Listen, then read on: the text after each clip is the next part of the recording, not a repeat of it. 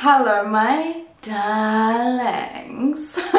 I hope you're doing well. So today, as you can see from the title, I want to focus on the sexiest, sexiest designer fragrances. Particularly designer because I really want to share the spectrum that is available for everyone. So guys, these are the most sexy, sensual, men eater fragrances that are out there from designer range. So if you're interested, stay tuned and keep on watching. But before that, please don't forget to subscribe if you want to see more content like that and also follow me on Instagram. And let's jump right in. So the first one, a honey bomb, very sensual, Sweet, sexy, perfect for nighttime. Scandal by Jean-Paul Gaultier. I love this fragrance for from the first time I smelled it I loved it and I smelled it first years ago at the airport with my mom and we were both blown away which my mom doesn't always love the same fragrances as me let's be honest but this one it's so warm it's very inviting but it's also perfect for clubbing I feel like you can really not go wrong because it is very sexy and out there but at the same time is super unique because that honey is so prominent uh, unlike in any other fragrance especially from the designer range. So get yourself some scandal to be very scandalous. And yeah roll with it girl. Uh, to me this is very long lasting uh, also, I really love Scandal by Night, which I'm definitely getting soon. Uh, but this one is a classic, is definitely more unique and prominent on the honey. So there you go, super sexy, men love it. So that's that. Another one Amber Bomb, absolute Amber Bomb. All these fragrances, by the way, are very long lasting. So I don't want to repeat myself too much, but I'm probably going, going to anyways. But this one is Amber Bomb. And that is Olympea Intense. And as you can see, I still have the old version, thankfully. Uh, I have a new one in South Africa. But yeah, I think the intense version doesn't really differ when it comes to the new packaging and old packaging, so don't really worry about that. This is vanilla, amber and salt and there is nothing more to it, nothing more. But this amber is done so uniquely, very sweet, sickly sweet actually, but at the same time it's super oriental and I feel like men love this. It's super sexy. Whenever I wear it, I feel like a powerhouse of sex appeal. I really, really do because it's summery and at the same time very cozy and warm. It's like the best of both worlds it's perfect for any any time of the year. Maybe not in a very, very high heat during the day, but summer nights, you're good, you're good. Very long lasting and potent. If you love amber and if you love sweet fragrances, you have to have it. You just have to have it. And uh, this is more sexy than the original Olympea, uh, which I love so much. But this one is like, mmm in your face sexy. All right, next one is a little bit popcorn, a little bit ylang ylang, coconut, vanilla, some floral, some peach. It's nice. I have quite a love-hate relationship with this one, but at the moment I'm loving it. I'm loving it and I must say, this is so sexy, guys. So, so sexy. Very deep and mysterious, but at the same time girly and inviting. It's very nice. And that is Pure XS by Paco Rabanne. Definitely a mainstream kind of fragrance, but it has its own uniqueness and I think there is a time and place to wear it. And if you want to feel sexy, that is the time that is the time. Uh, as I said, it's popcorn, ylang ylang, it's a lot of vanilla, some peach, some coconut. Some people say it's quite similar to Olympea. I don't really agree. To me, it goes in a different direction. Uh, to me, it's more floral, like yellow floral, a little bit of coconut. That peach is quite prominent on my skin as well. Uh, to me, it's also maybe not mature, but definitely on the sensual side. Mm, it's very nice. Very, very nice. Another super sweet fragrance. Uh, but yeah, that popcorn note on me is very faint. I don't really get too much of a popcorn note, unfortunately, because I wish it had more of it. But it's still very good. It's still very good. Um, yeah, that that's not much more I can say. It's long lasting, it projects well, and I feel like this is one of the sexiest fragrances out there. The bottle says it all. Check it out, because I really like it at the moment. I really, really do. Alright, now of course the classic guys, I have to quickly mention it because this is really sexy and it's from the designer and that is Alien by Mugler. This is to me the masterpiece. This is the fragrance I've been wearing since I was like 14 or 13, I don't know, but young. So good, so, so, so good. This is amber, indolic jasmine, woody notes, very sexy, very loud out there. Um, it kind of leans um, a little bit soapy from time to time, the new formulation, but it's still alien. You, you still cannot go wrong with it. Just get it if you're unhappy with the reformulation, I am too, but I still love it and use it. So that's Alien by Mugler, guys. It had to be here. Alright, another one, a cheapie but absolutely a goodie. This is one of the sexiest fragrances from that price point. It really smells niche and it's definitely not in a niche price range. And that is Roberto Cavalli Nero Assoluto. This is mainly some floral notes, a little bit, but in the dry down and as it gets to the mid, it's mainly a beautiful, very woody vanilla. This is deep woods, there's ebony wood in here, which is a very dark, mysterious kind of note. Love this one.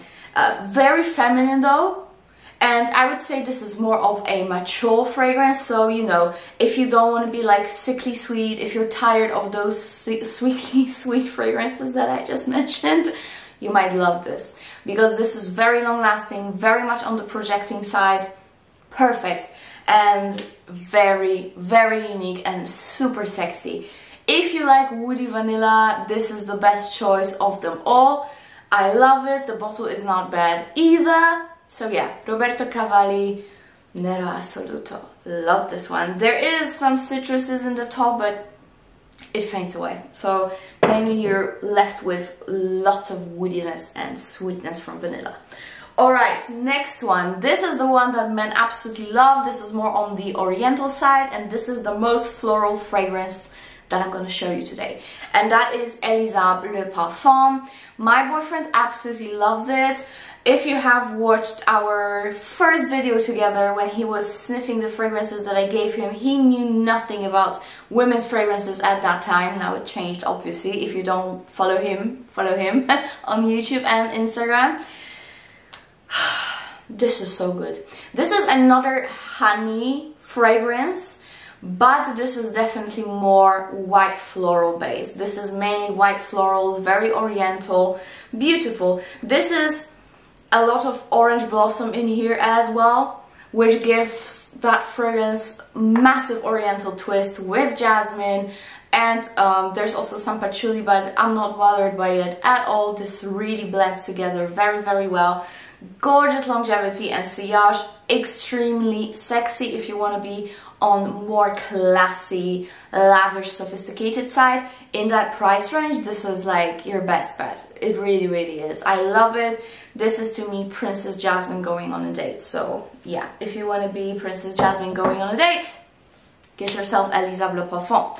All right now the fragrance that I didn't really like in the beginning, I really, really didn't. I to be honest, hated it. Uh, to me, it smelled like dill. But now, I started really appreciating it just in time that it's getting discontinued. Perfect, Paulina, perfect. But you still have time to get it. I'll link it down below as usual, so check it out and that is my self-made cap and Marc Jacobs Decadence. Um, if you don't guys know already, I bought a tester bottle because the normal shebang was not available and I put cap from another perfume, but it kind of matches and it looks quite nice, doesn't it? And it's as just not as bulky actually, so I like it. Anyways, this is very prominent plum amber fragrance. So also you get some saffron and there is some greenness to it. There definitely is greenness to it. But as it dries down it gets into that very sweet plum accord along with amber. And I love that combination at the moment. Actually I'm gonna spray it on myself because you know the drill you know the shebang that we usually do here. Mmm, ow, ow, ow, ow. It hurts me how sexy it is. I love it. A very long lasting and potent fragrance, so it's perfect for date nights. It's definitely a decadent one, uh, very unique. I still feel like even though many people use it, you don't smell it usually on the streets or between the sheets. I had to, I'm sorry, I had to. Anyways, um, very good one. Even though I didn't like it, now I love it and my boyfriend, future husband, is in love with this is he just loves it. It to him is very sweet. So I think he picks up a lot on that sweet note from the plum but it's warm and green at the same time. Very interesting fragrance and definitely a sexy one. Super super sexy one. All right next one. What do we have here? Of course Versace Crystal Noir, another favorite of my boyfriend and mine as well. I've been using it for years. And you know, even though I ramble a lot about this on this channel, I had to put it on this list because this is designer sexiness in the bottle and this is definitely a designer sexiness in the bottle. The Sexy Versace perfume for sure. This is um, peony, so some floral. Uh, you also get a lot of spiciness, you get some pepper here, you get a lot of amber, you get coconut. This is a very interesting mix. Another very interesting mix here, but this one is definitely on the warm side.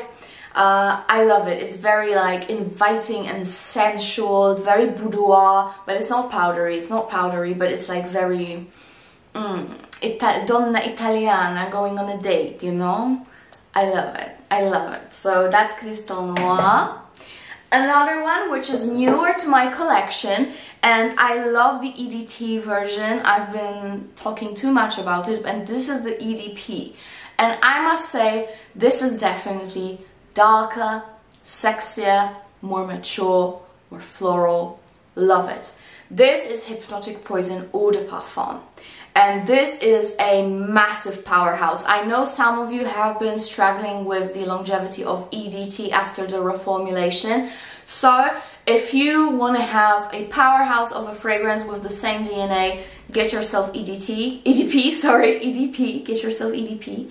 Uh, this one is lacking that doughy Play-Doh smell that um, some people get in the EDT.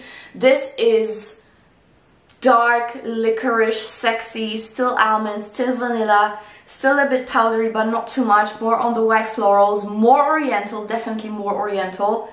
It's still in the vanilla oriental realm but it has so much more to it. It's a bit spicy. I would even uh, suggest that it might be a bit unisex. So if you have it, spray it on your men and see how it works because I know some men wear it and some men swear by it. So that's good. Very good longevity. Gorgeous. Extremely sexy. It's been on the market for years. And I don't see it getting discontinued anytime soon because it's so so good. But yeah they discontinued many great fragrances didn't they? But that's another topic. I love this one. Men love this one. It's fantastic. Hypnotic Poison by Dior EDP. Alright, and now, last but guys, definitely not least, this is like my absolute sexy favorite fragrance uh, from the designer range. This is actually slowly replacing Alien for me because Alien got a little bit soapy and this is like everything I want in a fragrance.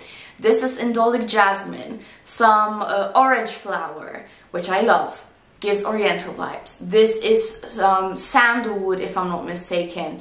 It's creamy, it's a lot of coconut, coconut punch actually, but very, very deep and warm. And vanilla, of course. Oof, oof, oof. I adore this, adore this. And that is Dolce & Gabbana The Only One Intense. Super long lasting. It is by far the best out of the whole range. Even though the whole range is not bad, this exceeds them miles, miles. This is so good. Yeah, as I said, it has very alieny vibe to it. It has that jasmine that's very similar and amber. And the difference is that it has some neroli flower, orange flower, and coconut. I am in love and I don't see any men not liking it because it's that sexy. It gives you everything. It gives you coziness because it's warm. It's inviting. Um, it's loud at the same time because you know it has those alien vibes from the jasmine that's very indolic. Love this. This is one of the best. I think if I was to choose only one from this list, I would go with this one to be completely honest with you. But that's just between us. Love this one. So definitely last but not least, Dolce & Gabbana, the only one intense. And that is it, my lovely people. I hope you liked it. Please let me know what fragrance is sexy for you from the designer range. I would love to know.